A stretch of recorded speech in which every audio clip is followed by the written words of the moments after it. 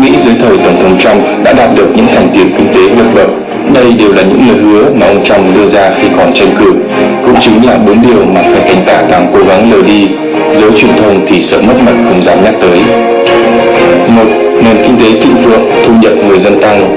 Báo cáo của Cục Thống kê vào tháng 10 2019 cho biết thu nhập của người lao động Mỹ đang tăng ở mức 3,4% một năm, một tốc độ chưa từng thấy kể từ những năm tốt nhất của chính quyền Reagan. Tỷ lệ người nghèo giảm xuống 11,8%, mức thấp nhất từng ghi nhận kể từ thời chính quyền Clinton và đang tiếp tục chuyển biến tích cực. Tỷ lệ thất nghiệp đang ở mức thấp nhất từ chính quyền Lyndon Johnson hơn 50 năm trước.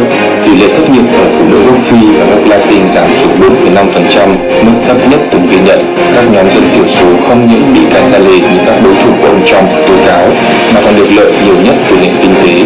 Mức tăng trưởng lớn nhất là ở nhóm có thu nhập thấp phải đem đến hệ quả số lượng người xin trợ cấp chính phủ phải sống nhờ phúc lợi xã hội giảm mạnh.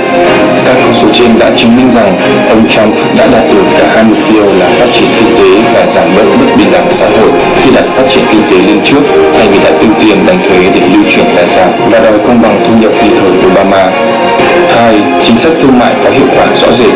Từ lâu, Mỹ và châu Âu luôn muốn Trung Quốc phải công bằng hơn trong các giao dịch thương mại, nhưng họ vẫn luôn bị trói tay bởi đạo đoàn với Trung Quốc. Ông Trump là người đầu tiên bất chấp mọi khuyến cáo để ngăn chặn sự trỗi dậy của Trung Quốc. Thủ tướng Lý Khắc Cường thừa nhận rằng tăng trưởng sản xuất công nghiệp của Trung Quốc đang ở mức thấp nhất trong 17 năm rưỡi và quy cho nguyên nhân là vì xung đột thương mại với Mỹ. Đây là phát ngôn thẳng thắn hiếm thấy đối với một lãnh đạo Trung Quốc. Thực tế đã cho thấy Trung Quốc đang phải nhượng bộ để trì hoãn những đòn thuế mới do kinh tế bị ảnh hưởng quá nặng nề. Trump tuyên bố Mỹ đã thu được 68 tỷ USD nhờ các khoản thuế mới và đã chi 16 tỷ USD để trợ cấp cho những nông dân bị tổn thất trong thương chiến.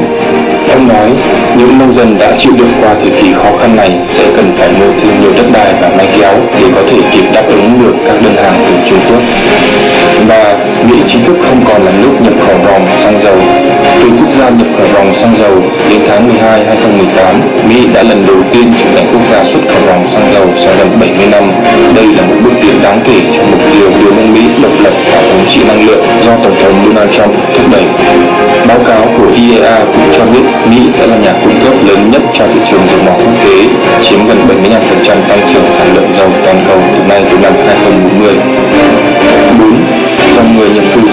suy giảm đáng kể. Dưới thời Tổng thống Trump, số lượng người nhập cư trái phép đã suy giảm đáng kể, đặc biệt là từ biên giới Mỹ-Mexico. Để có được điều đó, ông Trump đã đe dọa một cuộc chiến tranh thương mại mới với Mexico nếu chính phủ nước này không làm gì để chặn dòng người di dân đi từ các nước Mỹ Latin từ biên giới Mỹ. Đồng thời, một bức tường biên giới dự tính dài 800 km cũng đang được xây dựng với tốc độ chóng mặt. Qua, hãng xếp hạng tín nhiệm Moody's cũng đã công bố kết quả dự đoán từ ba mô hình nghiên cứu hành vi mới nhất của cử tri Mỹ cho thấy nếu nền kinh tế Mỹ tiếp tục tốt đẹp trong năm tới, ông Trump sẽ dễ dàng đạt được mọi đối thủ đảng Dân Chủ. So it's cost me between two billion and five billion dollars, and if I had it to do again, I'd do it in an instant. Because who cares if you can afford it? What difference does it make? If I had this to do again, because I'm making a big difference for the country. The country is stronger now than it's been in many years, maybe ever.